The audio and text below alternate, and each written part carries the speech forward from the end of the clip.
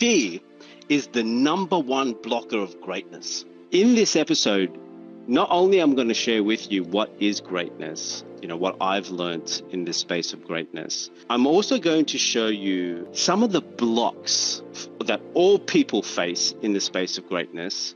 And these blocks are the number one things that suppresses our greatness.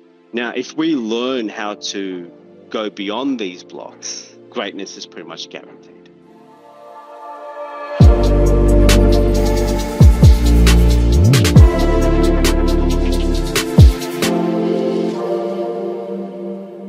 Today's episode um, is really going to be taking a deep dive of what it looks like in order to achieve greatness. Now, I'm not just going to be talking about greatness at a superficial level. I'm also going to take a deep dive in some of the neuroscience, some of the psycho- psychological benefits behind it, and also in the space of personal development. So, super excited to have this conversation with you and take a deep dive into achieving greatness. Now, as you all already know, um, and this is a realization that came to me um, probably only a couple of years ago, right? So, as Niro, I'm only going to have this life. Now, I do believe in reincarnation. I do believe, you know, there's life after death, and none of that is really proven. Let's just call it a spiritual belief. And I'm sure many of you have your own interpretation of what is um, what's going to happen after after life, and, and none of that really matters. But one thing that we know for sure is that as Niro Dayalan, as whoever's listening or watching this, right, you're only going to have this life as that person. You're only going to live this era once. So, isn't it our responsibility to see how far we can take it? Isn't it our responsibility to see how much we can push our career, our business, our finances, our health, our character. Isn't it our responsibility to create even relationships and parenting at the greatest level? Because here's the one thing that I realized along the way is that one of the most common emotion that we experience during death is regret studies have shown that we don't regret the things that we've done. We don't really regret the people that we've hurt, but we do regret the things that we have not done, the time that we did not spend, the love that we did not share. So, isn't it crucial and important that we actually step into this space and do the things that are important to us? See, in this path of greatness, it's a commitment that we make to ourselves. It's a commitment that we make to life. It is a commitment that we make to our higher self, God, Buddha, Allah, Krishna, whatever you want to call it. It's a commitment that we make to our Creator that you've given me this opportunity and you will give me the tools and the resources in order for me to fulfill this opportunity. I'm going to make sure that I'm going to achieve this.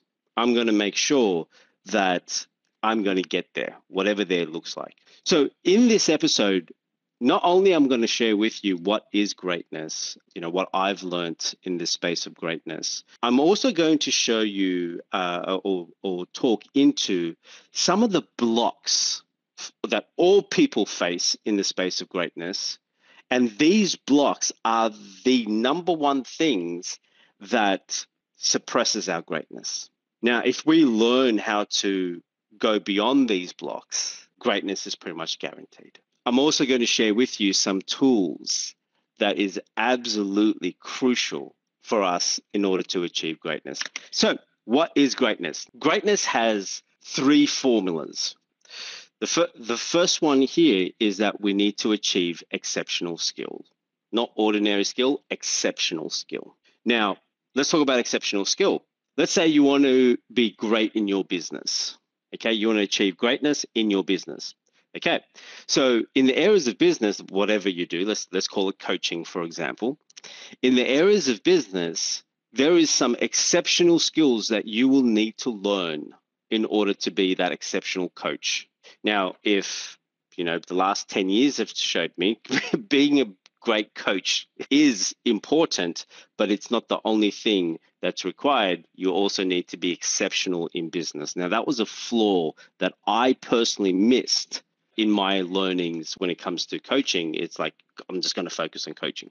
I'm going to focus on learning human behaviors and everything like that. And I really ignored business, which has bit me in the ass so many times, and I continue to do that. So that's not a great move. Now, if it's the area of relationships, for example, it's absolutely crucial that we learn relationship skills and not just learn it, we're exceptional at those skills. If it's your career, not only do you learn on being exceptional in that job, like for example, a town planner or engineer, not only do you need to be exceptional at that, you also need to be exceptional at the game of advertising, branding, um, advertising your role and what you've done, branding your skills. Now, all of these things are absolutely crucial in the areas of career. So, the first part of greatness is number one, have an exceptional skill. The tricky part is really understanding what skill do I need to be exceptional at. The second part of greatness is this skill, this field that you're in, it also provides you profound fulfillment. So, guys, greatness is a long path. It is not for someone that is that requires a instant gratification if instant gratification is what you are or what you're after, greatness is probably not for you. It is a long path. So during this long path, it's going to take you time to build exceptional skills. Now, in this long path, there are going to be challenges. There's going to be days where you don't want to get out of bed. There are going to be days where you're overthinking, over analyzing. But the sum of all of that is that it needs to provide you more profound fulfillment rather than the dark days. And when I say it needs to provide you guys, it's like the journey is not going to provide you. The, the journey to greatness is only going to give you obstacles. But you need to be that person that is feeding your fulfillment more than your anxiety, more than your stress. You've got to learn how the neuroscience works within your body You've got to learn how your neurotransmitters work within your body and really start feeding in the chemicals that it needs in order to feel fulfillment. So the first one is that you've got to build exceptional skills. The second one is that you will need to find, develop, create profound fulfillment.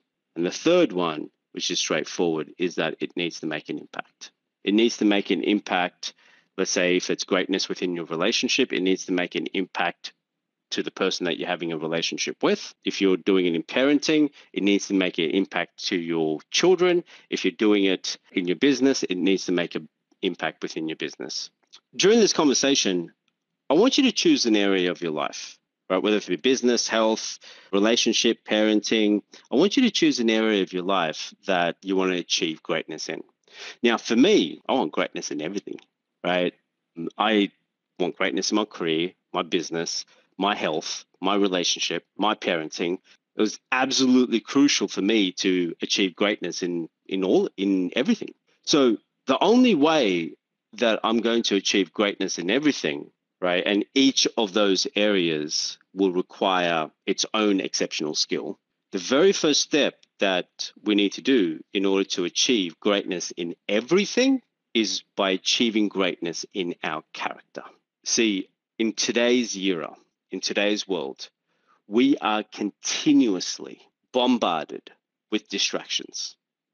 People telling us what we need to do right now, our parents, our society telling us what we need to do right now. And then our ego comes into the play and tells us what we need to do right now. And so there's all this noise that is happening inside of our head by achieving greatness in our character, in other words, knowing how to organize your thoughts, knowing how to regulate your emotions, knowing what you want, why you want it, who you are, why you exist, and what you're here to do. You might want to rewind and, uh, um, and uh, get all that information. Now, those questions that we all really ask ourselves with a great character, we are able to make decisions and take actions in, accord- in accordance to that.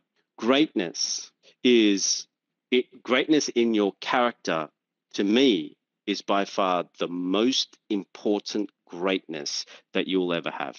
And guys, in order to achieve greatness in your character, you will need exceptional skills. Skills in organizing your thoughts, skills to get yourself out of, you know, overthinking, overanalyzing, shame spiral, anger spiral, whatever spiral there there is, right? We will go down, and we need a level of greatness in our character to actually pull us out of that. That requires exceptional skills. The second one is profound, profound fulfillment. That your character, in other words, without taking everything away from you, who you are as a person, as a human, this character that you have spent so much time developing, who you are is giving yourself fulfillment, right?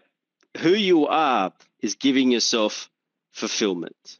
My character made the choices for me.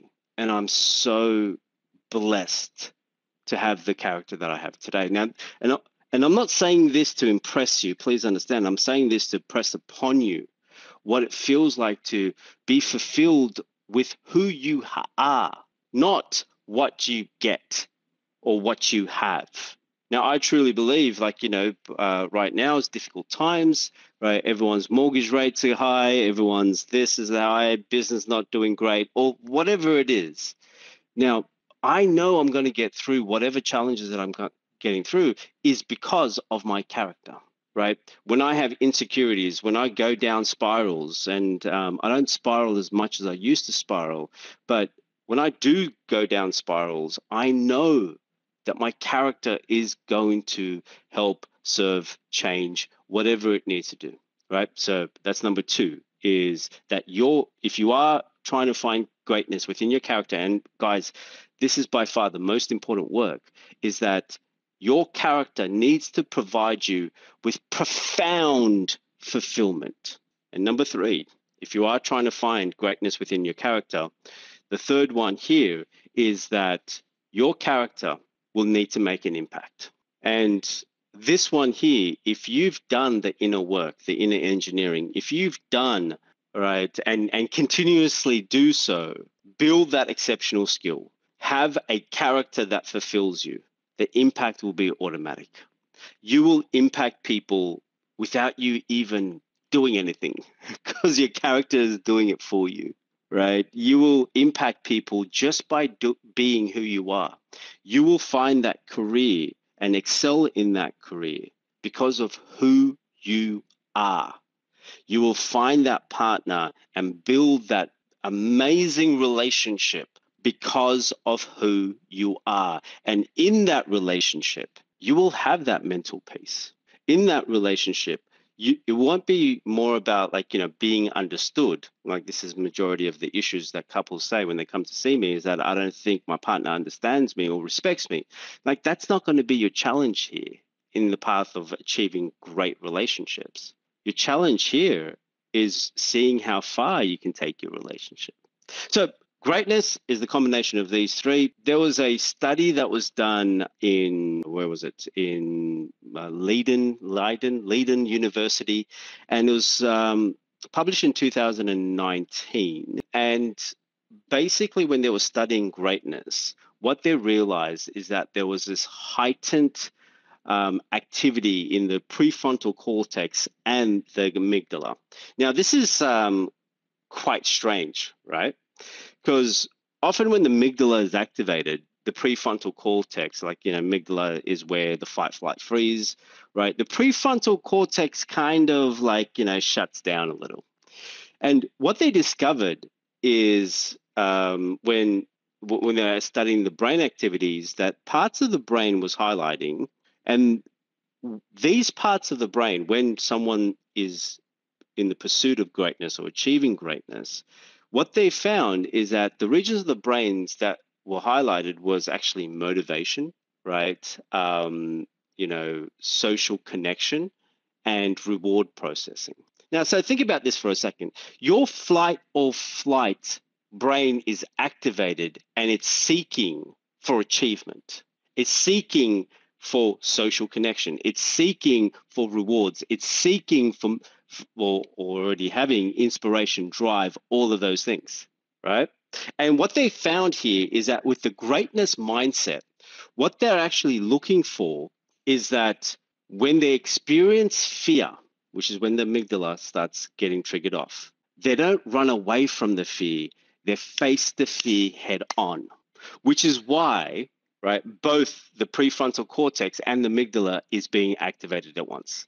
See, think about it, guys. Like, you know, I'm pretty sure we've done a lot of things that um, we ran away from conflict because we're afraid of having conflict. We ran away from public speaking or, you know, doing this, uh, starting a business. We, we stopped doing all these things because our amygdala t- took over and we weren't ready to face our fears. Whereas when we're going through the greatness journey, we're facing our fears head on.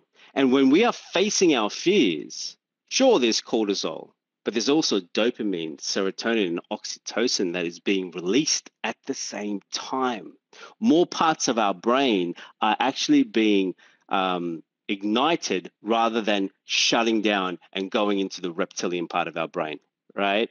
Imagine that you enter a conflict conversation with your partner with most of your brain being activated, right? How successful will that conversation be? Instead of going into a conflict with your partner, you know, ready to fight or ready to flee with all of your past triggers, your past traumas being ignited. This is the big difference between running away from your fears versus facing your fears full, um, head on.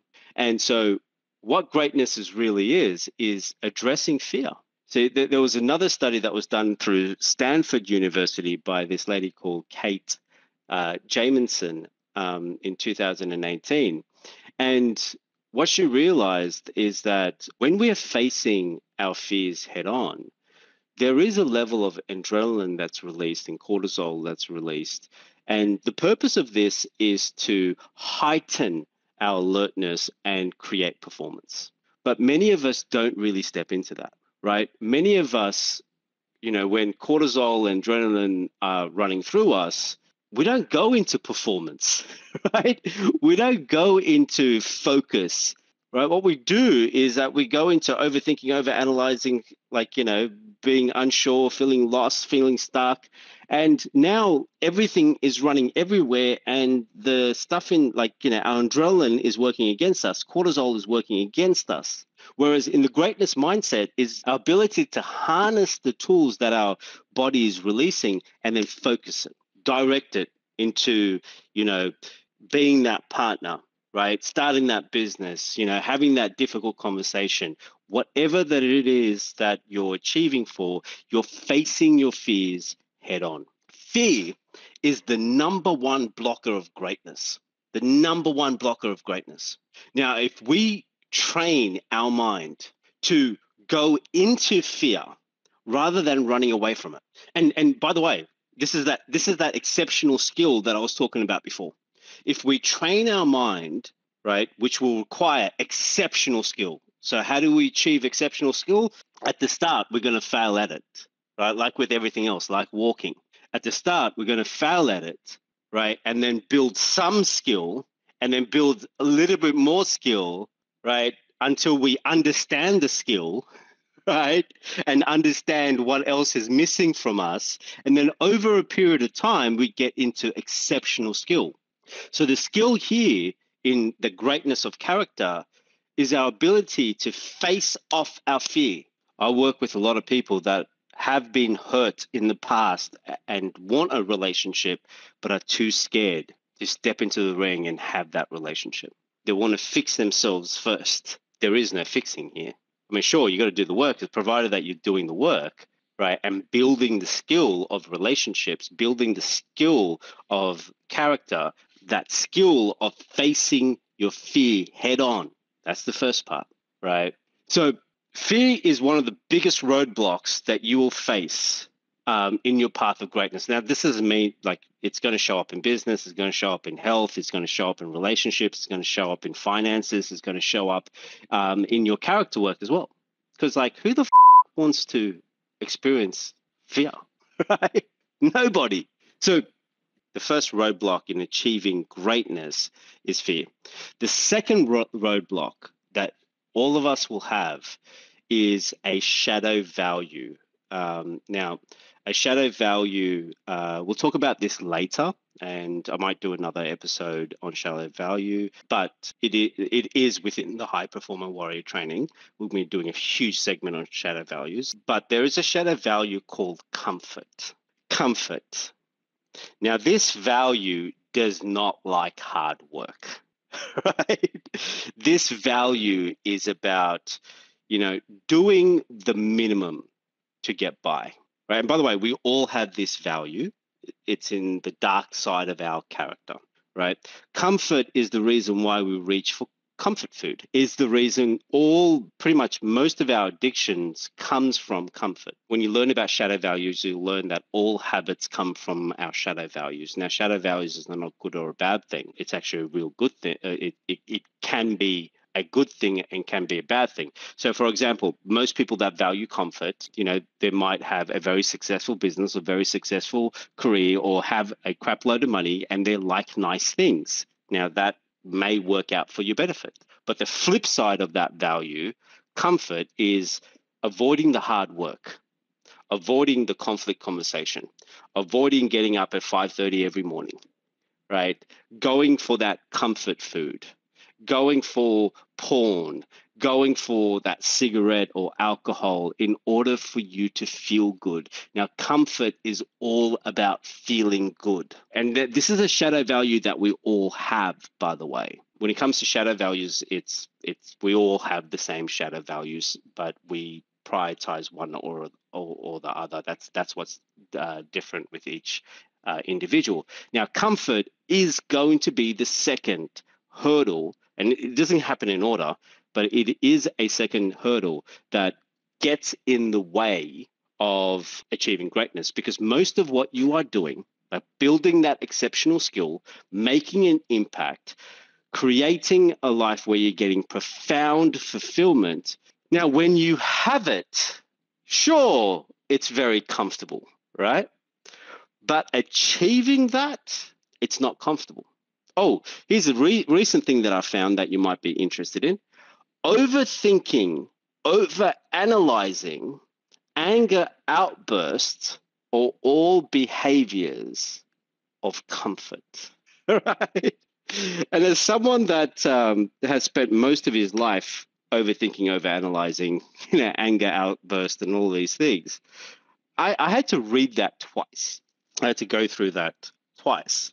I was like if you've ever experienced spiraling out of control, that's not very comfortable. So, how the hell, how the hell, right, is that a comfort? Because it's so much easier. Remember, comfort favors easiness, right?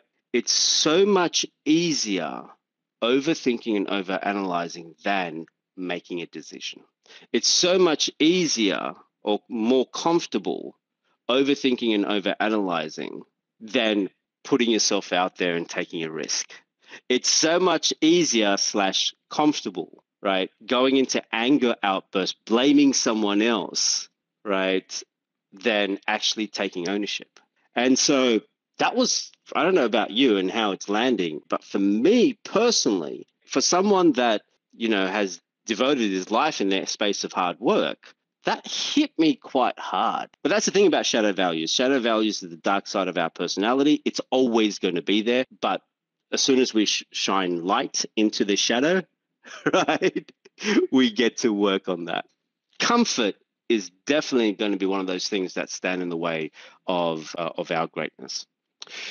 The third one, now this is, mm, th- regardless if you're after greatness, if you want anything just good, right? Maybe greatness is not what you want, and you know, I I suggest that you chase greatness. But even if you just want okay, right? This third one is always going to cause you misery, negativity, right, and disaster, which is resentment. Resentment. And I, as I'm talking about resentment, I can feel how much I resent resentment. right? I'm now stuck in a loop. But um, resentment is this nasty, nasty, nasty emotion. Resentment is very different to anger, right? So anger, you can have an anger outburst, so your emotion goes up, and then it eventually comes down. And when it comes down, it'll probably just stay at resentment, right? Uh, happiness, for example, again, it goes up, it goes it goes down, right? Sadness goes down and eventually comes up. Grief, same thing, down comes up. Depression, down comes up. But resentment, resentment is an emotion that is always on. What I mean by that is that you could um, resent your boss at work in your nine to five that is about 20 kilometers away from your home, but you can bring that resentment home. Even though you're not talking about it, it's always on. And the worst thing about it is, is that sometimes you can be, you know, having an intimate moment with your children or your partner, but because you resent your boss or your client or whatever it is, there's a part of you that is continuously not there. There's a part of you that is dedicated to resenting your boss, client, whatever it is, and you don't even know it's happening. But your kids will feel it, your partner will feel it. And guess what happens to your kids and partner after a week, a month, a year, a half, uh, half a decade of you having resentment towards someone else, it starts to spread. You know, when because resentment is so silent, it's in our subconscious part of our brain. There's a part of us that is disconnected from who we are and what we love. And as long as we are feeding resentment, there's only a part of us that is, if if that, is only a part of us that is available to building that exceptional skill to creating that profound, uh, profound fulfillment and making an impact. And that impact is not going to be great. That fulfillment will never be achieved. And that exceptional skill is pretty hard as it is. So, um, you know, the chances of you achieving that is going to be pretty low as well, right? Resentment is the third block in the areas of achieving greatness in your character. Now, the fourth one is very similar to resentment, but it's called comparison right? Comparing yourself with your sister, your mother, your brother, your next door neighbor, your best friend, your boss, whatever it is, is this comparison. Now, many of you um, may have heard that comparison is the thief of joy, right? Comparison is the thief of joy. Now, if comparison is the thief of joy and your mission in order to achieve greatness is to create profound fulfillment, well, you're never really going to get there, are you? There was a study that was done uh, in Harvard University in 2007, uh, 2017, sorry, that when we are comparing ourselves, right, with others, there are the parts of our brain that is responsible for creating social pain and distress, it's activated. And when these parts of our brain are activated that create social, social pain and distress, we then start impacting our own self esteem. It disconnects, gets rid of, diminishes any capacity that we have for creativity, innovation, connection, focus, growth, self improvement. All of these things are disconnected when we are doing comparison. And this could be, again, comparing your career with someone else that studied at university with you, right, or school with you, or comparing your business compare with someone else that is in the same field, or even comparing your body. The tools in order for us to achieve greatness, the moment we go into comparison, we are robbing ourselves from the tools and the resources that are already inside of us, the greatness that is waiting to come out of us. We are robbing all the resources that we have and the resources that we are attracting. We are robbing ourselves from resources of achieving greatness. Now, I want you to let that land. Comparison is not only the thief of joy, but it's the thief of your greatness. So let's do a quick re- re- recap. Greatness is achieving is the three part formula is exceptional skills, profound fulfillment, and creating an impact. Now, if you have these two things, now the impact side of things will be somewhat automatic. The blocks that we have in the space of uh, in our journey to greatness is, you know, fear, right? That's that's a huge one. Greatness is our ability to take on fear head on, right? Resentment, it's an emotion that's always on and it blocks everything and comparison. Okay, so now just real quickly, I'm going to give you some tools right, um, in this path of greatness. Now, if you're able to step into this, right, what you'll find is these tools are really going to serve you in your journey of greatness. And it's also going to serve you in overcoming. There was one that I missed. The fourth block is comfort. So sorry, I missed that. Um, so these tools that I'm going to give you is going to help you address each of these four blocks um, at once. Now, the first one here is um, spirituality. I'm not just going to say spirituality, right? Spirituality, and there's been numerous studies in that space. I think there was a study in the Journal of Transpersonal Psychology. I think the study was uh, University of Utah in 2018. Um, where they found that you know spiritual practices, and I'll talk about the spiritual practice in, in a second, those people that do spiritual practices have profound levels of well being and fulfillment. Now, we don't really need a study to actually understand that. But let's talk about spiritual practice for a second.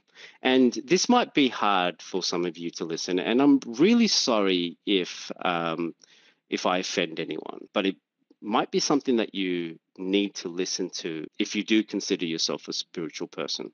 If you are a spiritual person, you will need to have spiritual practices. Make sense? Like if I was a cricket player, then I would need to play cricket, right? If I was a businessman, right, I would need to have a business. Make sense? If you're a spiritual person, you would need to have a spiritual practice that you are disciplined in on a consistent daily basis. Most of us are playing with spirituality. It's not part of our identity yet. We're playing with the concept of spirituality. We, we haven't gone into commitment, discipline, consistency, right? We don't know anything about it, right? Or even what we do, we'll talk about it on a, you know, logical level rather than an embodiment level. And again, if I've offended anyone, and when I say spiritual, I mean like, you know, spiritual or Hinduism or Christianity or Islam, whatever it is that is your spiritual practice, it's like, well, if it's part of your identity, like, are you practicing it on a daily, consistent basis? So, what are these examples that uh, that was mentioned in this journal, Transpersonal Psychology? Now, what they found, yes, meditation, gratitude, but also, and I don't know why this shocked me, but it did. Humility. Humility. Humility is such a huge spiritual practice. And I think why it shocked me when I understood that humility part is because I would meditate every day, I would journal, I would be grateful, you know, I will connect with God and build that relationship with God as as often that I can, but I wouldn't have considered myself as a humble person. I, I I wouldn't have found myself as a humble person. It's not something that was my go-to, right? So when I uh, again in this journey of greatness, what I found is that humility is a significant tool in this in achieving greatness, right? Humility and uh, and this is why I was shocked that this was new information, is because one of the first conversations that I've ever had with my guru was about 10 years ago. Uh, sorry, more than 10 years ago, 2008. And one of the things that he said was he, he, he loves playing mind games with me, right? So, um, one of the things that he said at the ashram that I was staying at is that, Niro, do you know the difference between a fool and a master? And, and he, by the way, he just came out of the blue and asked me this question Do you know the difference between a fool and a master? And I said, I think so. Okay, cool. See, a fool is someone that loves to talk, loves the sound of his own voice, whereas a master appreciates silence and only talks when they need to. See, Niro, a fool is someone that thinks they know everything. So as soon as they hear something that they've heard before, they'll just say, Yeah, yeah, I already knew that. I know this. Whereas a master, a master is someone that says, Thank you for the reminder. The conversation went on, and he started telling me a lot of differences between a fool and a master. But at the end, he goes, Niro, are you a fool or are you a master? Now, I was standing in front of a realized guru, a self realized guru, right? And of course, I'm not going to say that I was a master, but you know, there was an egoistic side of me that thought it was a master. And right now, I understand that that was the fool speaking. And so, what masters have that fools don't have is humility. When you achieve greatness, what you will have is humility. See, humility is often mistaken as weakness. However, it is this insane, powerful strength that is rooted in your self awareness. It's your ability to understand that this perception of life is not working. And so we are looking for other uh, perception of life, other ways to see life through other eyes. See, humility is what gives us a sense of compassion, empathy, understanding, love, joy, mental peace, which a master has. A fool is someone that is continuously spiraling out of control. A fool is someone that think they know and they think they've tried everything, but they haven't stepped into humility. In the areas of spirituality, a one of the most powerful tools there is this act of surrender. Okay? The act of surrender. Surrender is not just turning around and giving up. Surrender is doing your best and surrendering the outcome. I'll say that again doing your best and surrendering the outcome. Now, what insane amount of strength will a person need to dedicate their time, money, energy in doing the work with the idea of this particular outcome, but also surrendering the outcome, right? There's a level of humility that's required there. See, humility um, this honest recognition of your own limitation, which a fool will never do. A fool will never um, admit to their limitation. They'll just work harder at it, right? Um, or they'll just be masking it or not even trying it, but they'll never accept their own limitation. So, in order to have humility, there is a willingness to learn from other people, a deep sense of respect for others no matter how they live life, right, or the choices that they make, there's this deep sense of respect and um, for life, for the person, and understanding that everything is divine in that space. See, hu- humility is not just the mask of being humble; it's your ability to be raw and open. So, and having this tool, right, in the space of humility, you're willing to be seen. You're willing to put your fears out in the table, right? And know that it will be rejected by people that are that that are more of a fool than what you are, but it will be rejected. But it will also be healed. By doing the work, you're also going to heal that part of you. Humility is that continuous practice of empathy, understanding, showing compassion. Now, when I'm working with couples, um, and they come up to me and goes, Niro, oh, you know, my partner doesn't understand me, right? Because yes, because you don't understand them, right? So there's two people in the areas of relationships. Goes, oh, you don't understand me, and you don't understand me. You don't see where I'm coming from. You don't see where I'm coming from. So the problem is that you don't see where you're coming from, and you don't understand each other. But as long as you're going from the point of you understand me. No, no, no. I'll understand you after you understand me. Well, of course, that relationship is going to fail. Well, someone has to take the time and understand the other person. But because of resentment, because of resentment of what's happened in the relationship, I don't want to understand you anymore. It doesn't make sense to me. So I don't understand where you're coming from. And I don't want to understand where you're coming from. So when you're practicing humility, there is that respect. It's not about what you're going to get. Is what it's not about, well, if I give you empathy and compassion, what are you going to give me? It's none of that stuff. You're giving humility to others because that's the person that you are. You're giving empathy, compassion, and respect to others, no matter what they've done. You're seeking to understand that person because that's the person that you are. You don't have to agree with it, but you do understand. In the areas of business, humility is a superpower when it comes to leadership, right? In order to build teams and foster a culture of collaboration requires hum- humility. In the areas of business, especially right now, things are continuously changing. We need humility to know that I, I don't know what I'm doing anymore. I don't know that I don't know how to keep up with this climate. Like think about COVID, for example, right? I mean, like pretty much every business owner or every business coach out there, right, came up and said, I've got the answer for COVID. Well, f- off you did, right? No, you're just an idiot, right? It's like, you know, how many business owners came up and just said, hey, guys, I have no idea what to do. Sorry, business coaches came up and goes, guys, we've as human race, we've never gone through this, but this is the stuff that I'm doing, and I'm going to share it with you. That's humility.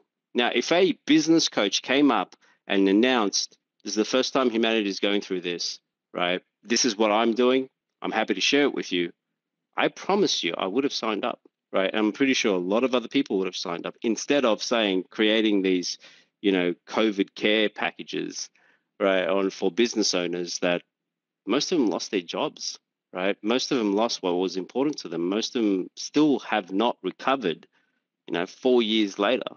Humility is an important practice, especially in the areas of business. So the number one tool in the order to achieve greatness is humility.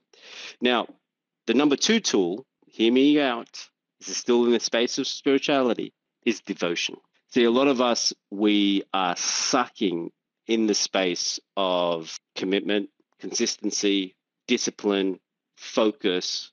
But the moment we are devoted to something, the moment we are devoted in that pursuit of that something, we will leap over tall buildings, change the direction of rivers, lift mountains, whatever it takes when we are devoted to that something. When we are devoted to achieving greatness, when we are devoted to our partner, when we are devoted to our children, there is nothing that will stand in our way.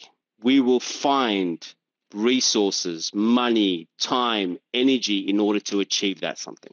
A lot of parents that I speak to um, when I'm working on their health, they will tell me about this awesome meal plan that they have for their children that is healthy, that is nutrient, that is, you know, hydrating them, that is all of these things. But they will, uh, after the kids go to sleep, they will just eat junk. right?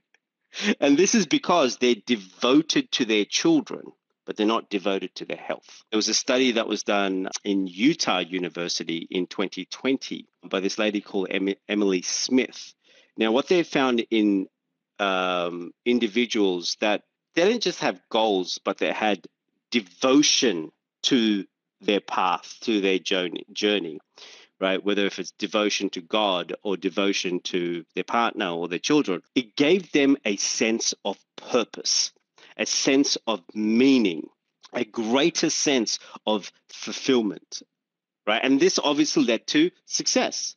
See, when we are devoted to something, right? We are we'll put in the hard work. We will overcome, right, this comfort need or this comfort value, right? We'll overcome that. We will we are ready to face off our fears, right? We will do what's required in order to build that exceptional skill. And when we're devoted to that thing, hard work doesn't feel like hard work when we're devoted to those things, we don't hold on to resentment because we know that resentment is taking me away from being that person, achieving that goal. We don't we don't focus on any of that stuff.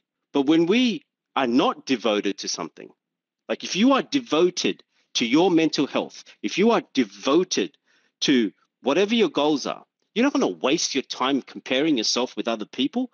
In fact, if you see someone that is better than you, you're going to go up to them, and ask them a billion questions on how you can model what they've done into your life so you can achieve that greatness. You won't be sitting there feeling sorry for yourself because you don't look like someone or they're doing business better than you. You'll be learning from them, not resenting them, not running away from your fears, trying to find comfort in order to cope with life. This is the power behind achieve like your pursuit to greatness. And this is why I truly believe that it's everyone's responsibility and need everybody needs to find their path to greatness. That thing, that career, that relationship, that parenting, that character that you are ready to spend that time, money, energy developing, creating, feeling that sense of fulfillment and making that impact to this world, to the people around you. This is why greatness is really absolutely the only thing that's worth spending time on and the one thing that is going to ripple into all areas of your life by you choosing greatness. Guys, thank you for listening. I really hope um, there are parts of this that have landed for you. I would love to hear what landed for you in the comments. I would love to hear um, any questions that you may have, and I'll be really happy to uh, answer them. Guys, for those of you that are currently on online, is there questions that you have right now? Um, I'll, I'll wait for about 30, 40 seconds as you type out your um, your questions, and I'll be more than happy to answer them. Do you guys have any questions on greatness? I I really hope uh, this word of devotion really lands with you guys, eh?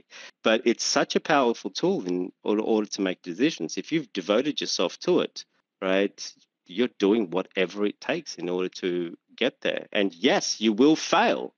If you are devoted in finding a partner or having a family or or whatever it is, uh, are you going to fail? Of course you're going to fail. But your devotion is greater than your fear of failure, right? I'll say that again. Your devotion to that thing is stronger than your fear of failure. That is the skill of devotion. Through Keith and I just say said, um, how do you develop devotion? the first thing here, and that's a really good question. That is a really good question. Um, and devotion does take a bit of time. And and in Keith now I, know for sure that you're all, you're you already have devotion, right? Like I know for sure it's it's you, you've got devotion um, either with your family or either with you know your partner you've got devotion somewhere okay so the very first thing in order to have that devotion is have clarity in what you're devoting to and this is why religion and spirituality right this word devotion comes from religion and spirituality but it's it's not often that we see devoted spiritual people right like gurus and priests, some priests, right? But gurus and stuff like that, they devoted their life in spirituality. That's that sense of devotion. But it's really understanding what am I devoting myself to, right? What is this thing that I'm devoting? So let's say career. Uh, is what what you want to achieve greatness in, and devotion is a tool. So, what specifically in my career am I devoting myself to? right? So it's having that clarity. And sometimes we actually need to overcome our comfort. See, comfort and devotion are in opposite scales, right? We've got to overcome our uh, need for comfort to really understand and make a decision on what what am I going to um, devote myself to? So we need uh, clarity, and in order to achieve clarity, we need to have um, we need to make decisions, right? Even if we know if it's going to work out or if we'll be good at it, whatever it is, right? Um, the second part of it is once you've made that decision, for me anyway, once I make a decision, I go straight into devotion. This has to work. I'm going to make it work. Okay. But for most people, the clarity piece is what's missing. So, in order to go from clarity to devotion, it's that real understanding of why is this important to me? So, let's just say you go for a CEO role and you've got clarity. Yep, cool. I know this is my outcomes. This is what I need to do. This is what I need to achieve. Okay, cool. So, why is this important to me? And this is the part where people fail at is that they don't know the why. Why is becoming a CEO important to you? And this why needs to have significant meaning, right? Being a CEO or starting a business is the why can't be, well, to get more money. Okay. So that why is a weak why. The why has to be significant. Because here's the thing a lot of people start a business because they don't want to work for someone else. They resent making someone else rich. Well, resentment is a strong emotion, but it's not a strong strong enough to create devotion. Okay, so. Uh, so the first thing is why is this important to you? See, a lot of us we start a career because our parents told us that this is what we're going to be good at. And so, if career is something that you want to devote yourself to, and the reason why you're in this particular in particular industry or field is because you know our parents or a teacher or someone said that this is what you'll be good at, well, it'll be really hard to devote yourself into that field. That's kind of um, the key importance to understand why is being successful in your career important to you, why that CEO role is important to you, why this partner is important to you. And once you have that clear understanding of that why, the devotion is like boom. But that why has to be strong. All right, guys, I'm going to love you and leave you guys. I did not expect to speak for an hour, but uh, I clearly did. uh, it's a big topic. It's something that uh, that is important for us all. But if, as I said, if you can write down things or share things that you've taken away from today's call, it will help you concrete what you've learned and also helps me understand of what kind of materials that I need to focus more on. So, you know, if it's worthwhile doing a segment on devotion, then hey, I'm down to do that as well. So um, keep the conversations happening. Post below um, what you're taking away and also any questions that you have. Love you all. See you guys next Wednesday. Bye for now.